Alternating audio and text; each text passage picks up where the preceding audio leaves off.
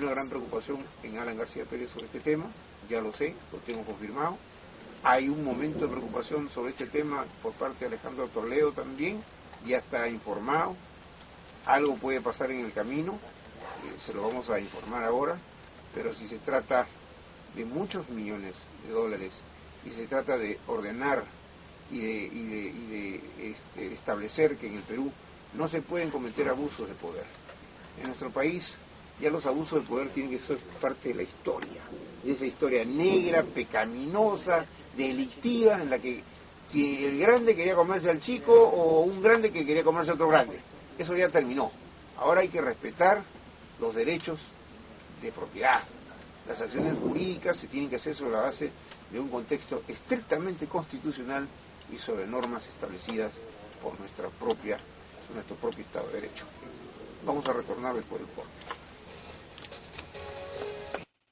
Han ocurrido en el pasado muchísimas cosas de las que nosotros, como ciudadanos que defendemos el Estado de Derecho, que estamos del lado de la ley, que creemos en el, en el, en el derecho a la propiedad, que creemos en el derecho al alegato, porque todos tenemos derecho al alegato, todos tenemos que alegar, todos tenemos que reclamar.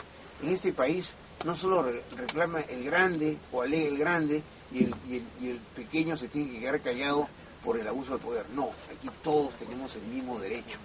Y las autoridades, sean políticas, jurisdiccionales, administrativas, como es el caso que vamos a mencionar, tienen que pronunciarse, como lo ha pedido el presidente del Congreso respecto al conocido caso del Banco Nuevo Mundo de liquidación.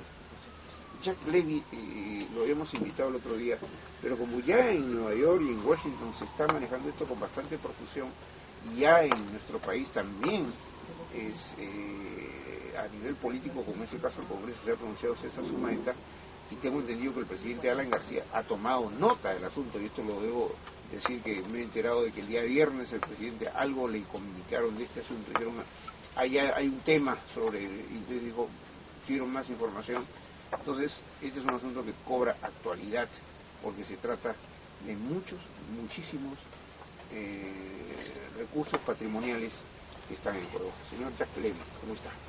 Bien, gracias. Eh, gracias por la invitación. Ya que menciona el señor Alan García que está informado de los avances de esto, eh, yo tengo que mencionar que él, al iniciar su gobierno, tuvo una intervención cuando estábamos en la Corte Suprema y apareció ante todo el país desde Palacio del Gobierno contando una historia que es lejos de lo real. Entonces eso es un elemento que va a ser considerado como interferencia de poder, como abuso de autoridad, iniciando su gobierno y eso marca el cambio de giro que mi familia y en específico mi hermana René Ross decidió tomar al verse eh, impedida de tener justicia en este país. El señor Alan García comienza su gobierno abusando de una autoridad que le otorga el país y que va a quedar en los anales de la historia como un momento nefasto al romper el Estado de Derecho y el impedir, el contarle al país que el Estado iba a quebrar si es que nos hacían justicia y que nosotros habíamos empezado en una corte del cono norte, que es mentira. Esto es un juicio que empezó en la Corte Suprema y el y el presidente, no, que nunca empezó en ningún cono. Esto empezó en la Corte Suprema. No, no, esto es un juicio que empieza en la Corte Suprema. En, un, su primera instancia es en un eh, en una sala de la Corte Suprema, un contencioso administrativo, ah, y la segunda instancia es en otro en otra sala de la Corte Suprema. Es decir, es extraño que el presidente de la República se aparezca en televisión a contar un cuento. Ahora, si estamos hablando del Estado de Derecho y que la autoridad máxima empieza a contar cuentos en un videitos de los cuales yo dispongo y que todo el país dispone, y que sigue contando cuentos en otras cosas, es decir, esto en, en, en, la, en, en cortes internacionales, en arbitrajes internacionales, es, es ayuda a un caso de injusticia, es decir, colabora a crear la inestabilidad jurídica, porque esto es interferencia de poder.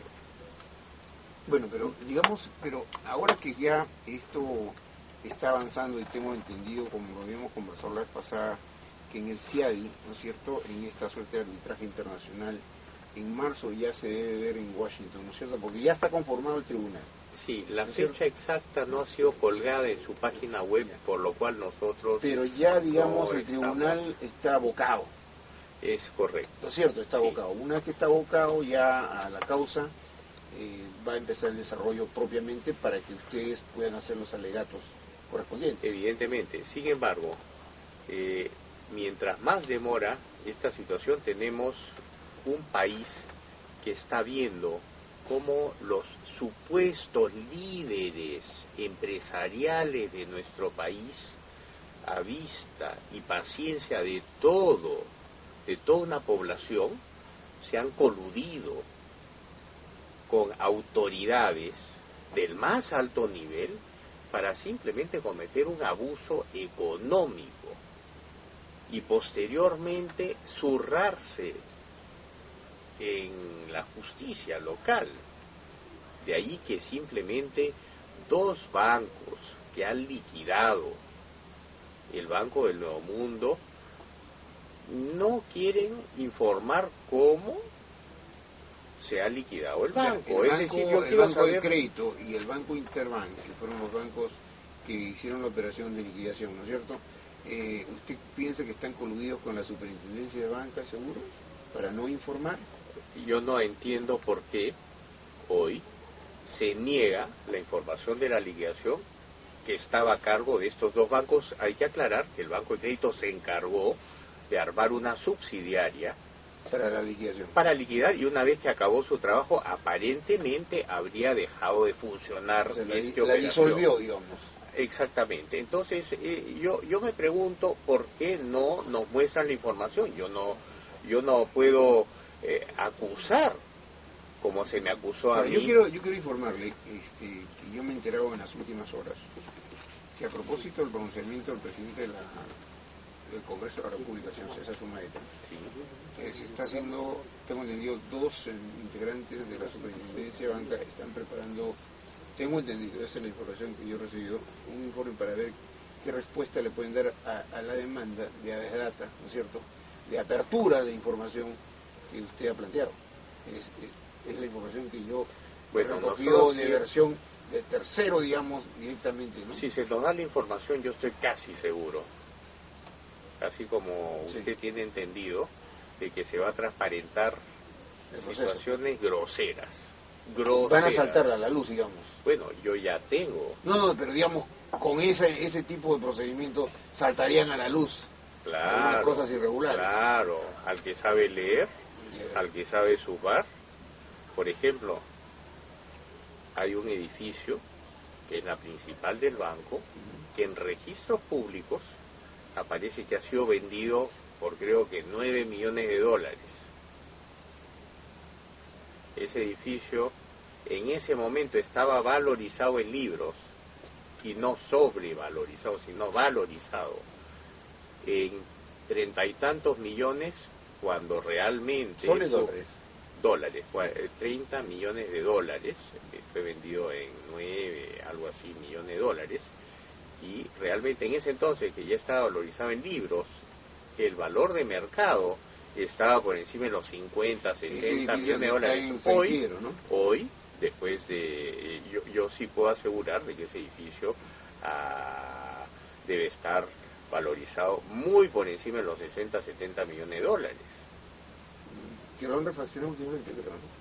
Sí, claro. Mm. No, estamos hablando con el señor Levy, que es el protagonista, el demandante, uno de los tres demandantes eh, sobre este tema, y vamos a retornar. Yo antes quería, ah, para no, vamos a retornar con él, pero antes quería decirles que he recibido una grata invitación para estar mañana eh, en horas de la noche en el programa Habla del Pueblo.